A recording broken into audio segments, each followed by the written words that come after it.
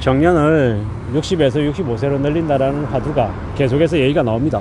국민연금을 납부하는 기간을 59세에서 64세로 늘리면서 나온 얘기인데요. 국민연금 납부 기간은 늘렸는데 일할 수 있는 기간은 안 늘어난다는 것도 맞지 않은 거고 또한 한편에서는 그래 59세까지 다니는 사람들 만 60세까지 다니는 사람들을 65세까지 늘리면 그들의 고용을 늘려주면 안 그래도 청년 실업으로 되게 힘들어 하는데 청년들은 어떻게 하란 말이냐? 라는 이야기가 나옵니다. 제가 만평 하나를 봤는데요. 만평 하나에 나이든 엄마 아빠 그리고 아들이 있는데 정년 연장됐다라는 소식을 들으니 나이든 엄마 아빠는 할아버지 할머니급이죠. 정년 연장이 됐다라는 이야기에 되게 반색을 하고 또 그 옆에 있는 아들은 그러면 내 일 자리는 어떡하지? 라는 고민스러워하는 그런 만화가 있었어요. 그걸 보면서 어떤 정책이든 다 연결되어 있구나라는 생각. 그리고 정년을 65세로 연장한다라는 게 그게 뭐 고소득 이제 대기업에 월급을 되게 많이 받는 임금자들에게는 이제 엄청난 혜택이 될 것이다 라는 그런 의견들도 있고 또 다른 한편에서는 그래 만 60까지 다니는 사람을 65세까지 늘리면 임금을 어떻게 하겠냐? 임금 조정이 들어가지 않겠냐라는 겁니다. 딱 현재 시점에서 임금을 아 정년을 뭐 내년부터 만 65세까지 연장. 뭐 이렇게 아니라 뭐 단계적으로 시간을 두고 61세, 63세, 65세 이렇게 늘려가는 게 맞지 않나라는 생각도 있고 뭐 그에 따라서 임금을 좀 조정하는 부분들 관련해서도 이제 얘기가 되어야 되지 않을까 뭐 그런 의견들도 있습니다. 어느 쪽이 맞다 틀리다 뭐 이런 것을 따지기보다는 이제 국가 전체로 봤을 때는 노동력 부족 현상이 지금 이제 목전에 두고 있기 때문에 정년을 연장해서 나이든 시니어들에게도 일을 더 할 수 있게끔 여건들을 마련해 게 맞고 그것과 별개로 이 청년들의 실업을 또 어떻게 대응할지에 대한 것들도 챙기는 것도 맞더라는 겁니다. 어느 한쪽만 맞고 어느 한쪽은 틀리다.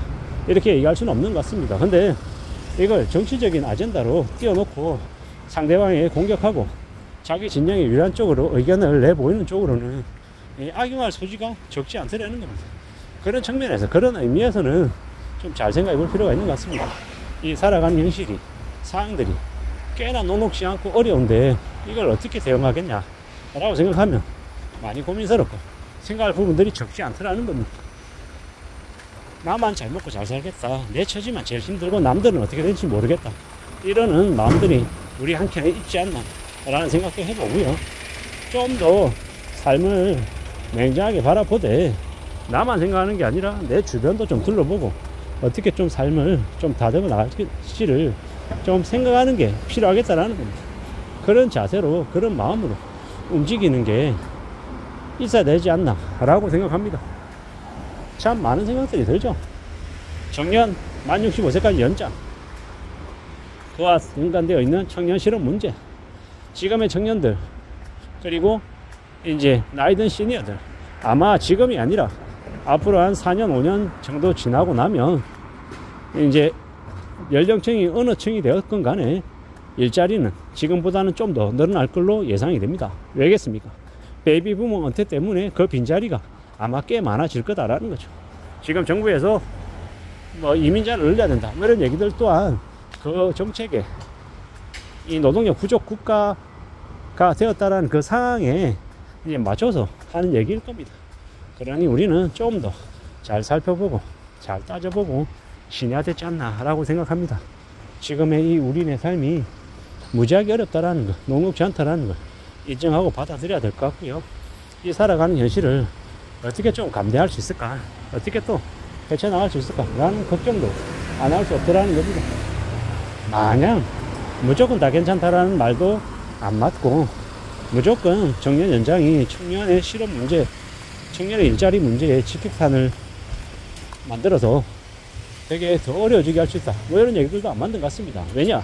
베이비 부머 세대가 한 명이 퇴사를 하면, 아, 세 명이 퇴사를 하면 그 자리를 그냥 한 명 정도의 되게 싼 임금, 젊은 청년 일자리로 바꿔치기 하려는 게 지금 현재 기업들이나 이제 기득권들의 생각이다라는 겁니다. 다르게 얘기하면 세 명 퇴사한 자리 한 명은 이제 정년 연장시키고 한 명은 청년 일자리로 제공해 주는 게 가능하지 않을까 뭐 이런 생각도 내보는데 이건 그냥 말 그대로 그냥 혼자 하는 생각이기 때문에 개소리일 수도 있다라는 거.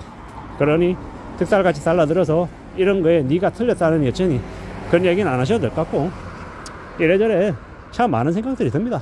앞으로 우리가 살아가는 세상이 얼마나 더 안 좋아지려나 얼마나 더 어려워지려나라는 고민 그리고 만 60에 퇴직을 하고 나와도 여전히 에너지가 넘치는 그들은 또 어떤 식으로 또 일하며 살아가게 될까?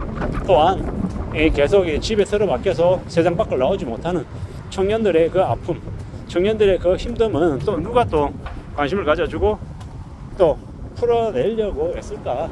뭐 이런저런 여러 가지 생각들이 이제 짬뽕이 됩니다.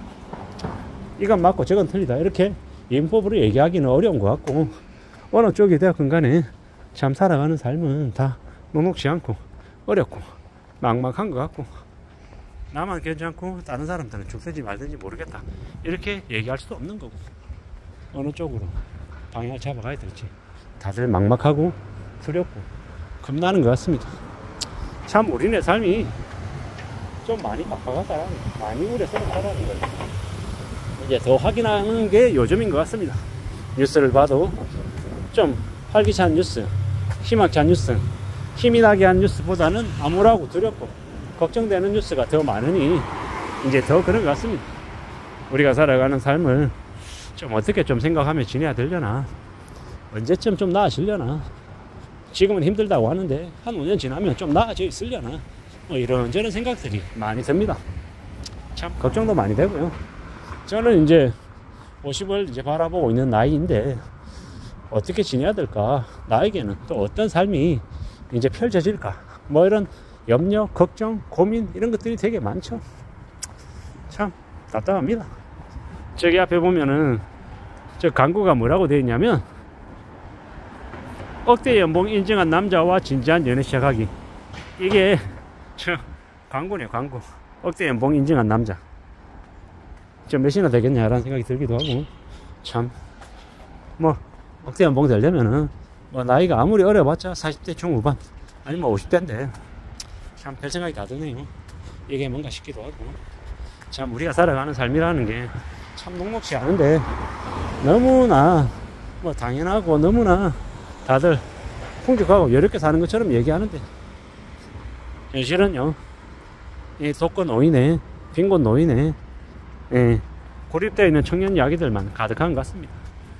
그리고 자영업 하는 중장년들의 미피시 3억 5천이라는 되게 암울한 뉴스까지 말입니다. 참 너무나 많은 사람들이 힘겹고 어렵게 살아가는 것 같아서 마음이 답답합니다. 아무쪼록 어느 문제든 어떤 상황이든 잘 협의하고 의논해서 슬기롭게 잘좀 헤쳐나가기를 바랄 뿐입니다.